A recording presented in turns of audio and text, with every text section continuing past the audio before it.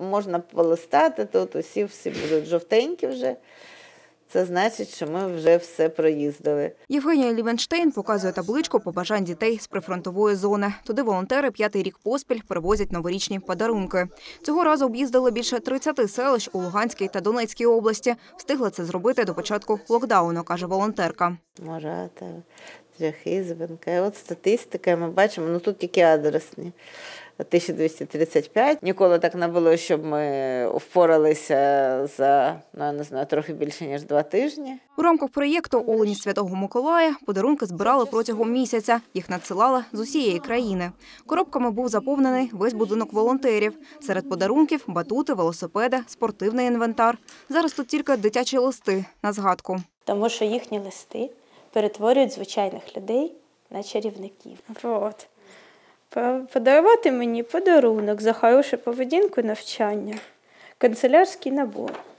Серед побажань дітей і домашні тварини, каже волонтерка Катерина Шутальова. Був і папуга. Тобто хлопець його, мабуть, хвилин 10 ловив по клітці ось у зоомагазині. Папуга, мабуть, відчував, куди він, куди його везуть, і був дуже проти просто. Ну, На Донбас волонтери їздили двічі, віддавали подарунки і проводили розважальну програму. Із дітьми працювали у щитках. Через карантин кілька свят влаштували просто неба.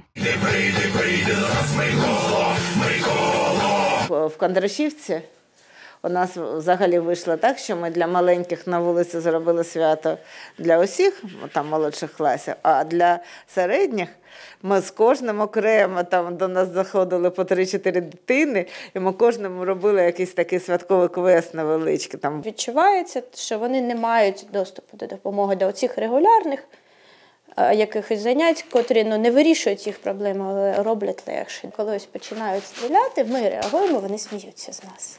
Та це далеко. Це метрів 500, каже, далеко. Коли треба буде лякатися, ми вам скажемо.